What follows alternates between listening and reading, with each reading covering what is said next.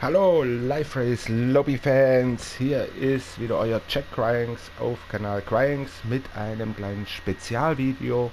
Und zwar mit Fahrzeugen, die ihr unbedingt in der Garage haben solltet für Life Race Lobby, falls wir mal äh, ein Special Event machen oder unter Umständen die Fahrzeuge in einer Lobby wechseln.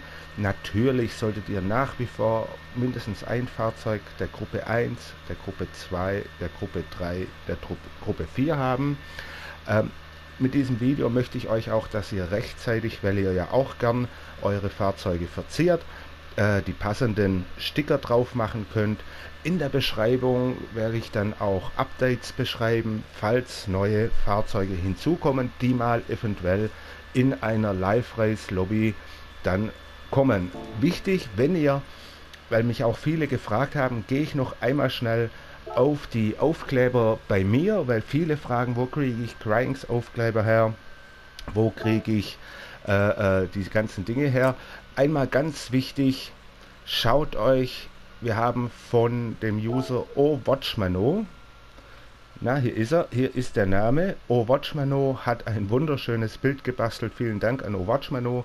Diesen Aufkleber kann man wunderbar nutzen, also macht auch richtig Spaß. Der zweite User, Blue Pogona, also er hat einige gebastelt. Checkt ihn aus. Ihr findet hier oben den Namen, um ein paar passende Kleber zu haben. Und dann ist natürlich, sind auf meinem eigenen Profil noch ein paar Aufkleber drauf. Check unterstrich Cryings 81. Da findet ihr auch mehreres, äh, was ihr nutzen könntet. Habt auch einen E-Sport Aufkleber, dann natürlich auch für die Facebook Grand Turismo Sport Germany Gruppe. Die sehr, sehr viele Aufkleber drauf, natürlich auch ein paar lustige Texte. Dann Live Race Lobby, Live Race Lobby Driver sehr beliebt. Ihr könnt also auch euren Rennanzug mit einem kleinen Text äh, verzieren und weiter unten natürlich nochmal für die Community und für Cryings. Aber jetzt legen wir los. Und zwar, es sind wirklich ein paar Fahrzeuge, die ihr unbedingt haben solltet. Fahrzeuge kauft man ja bei Brand Central. Und hier legen wir mal direkt los. So, und der erste Schritt ist nach Asien. Es wird auf jeden Fall der Nissan benötigt. Wie gesagt, ihr findet es dann auch in der Beschreibung. Und zwar, wo hat er sich denn versteckt? Na, bin ich jetzt. Hier ist er doch. Nissan GTR R17 und Nissan GTR Nismo, wobei der Nissan GTR 17 Premium Edition eigentlich das Fahrzeug sein wird, das wir mal mit Sicherheit fahren werden. Ganz wichtig, pumpt natürlich das Fahrzeug auch noch mit Meilen auf. Dann geht es eigentlich schon direkt erstmal nach Deutschland.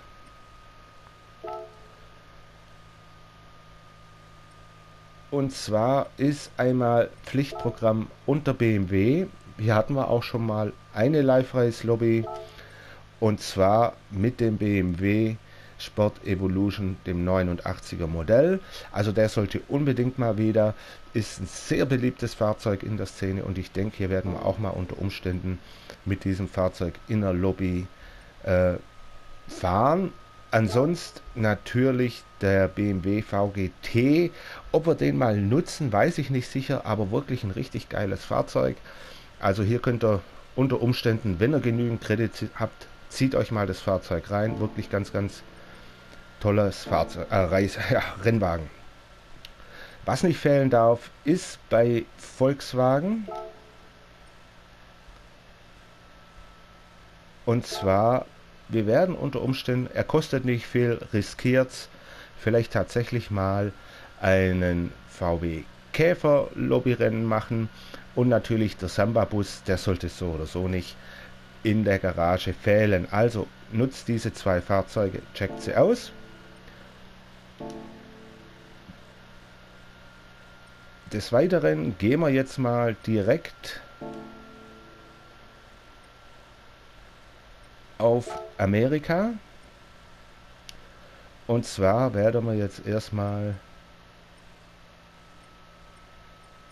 den Ford auschecken. Und zwar hier werdet ihr fleißig einkaufen müssen. Den Ford Focus ST, den Mustang GT 15, den Mustang Mach 1. Den Raptor bin ich nicht ganz sicher, kostet aber nicht viel, zieht ihn euch rein. Den Ford GT 06 Mustang Gruppe 4 habt ihr sicherlich sowieso im Portfolio. Den Ford GT LM für Gruppe 3 ideal passend. Mustang Gruppe 3 habt ihr sicherlich auch im Portfolio drin. Und hier muss ich dann in der Community fragen, ob es hinhaut. Natürlich der Mark IV. Ich konnte mir auch noch nicht leisten. Also ob wir hier mit mal ein Lobbyrennen machen, da muss ich echt anfragen oder schreibt in die Kommentare rein, wer das Ding alles schon in der Garage hat, weil hier hätte ich schon richtig Bock drauf mit dem zu heizen, sowie den GT40 Mark I. Also bei Ford dürft ihr richtig einkaufen, da spürt ihr schon ein bisschen, was unter Umständen mal vielleicht auf euch zukommt. So, in den USA kaufen wir noch ein bisschen weiter ein und zwar holen wir noch ein paar Oldies mit rein. Und zwar unbedingt die Corvette C369 Stingray. Des Weiteren bei Dodge natürlich gehört dazu, darf auch in keiner Garage fehlen, den Dodge Challenger. Des Weiteren bei Shelby hm, die Cobra und zwar Baujahr 1966.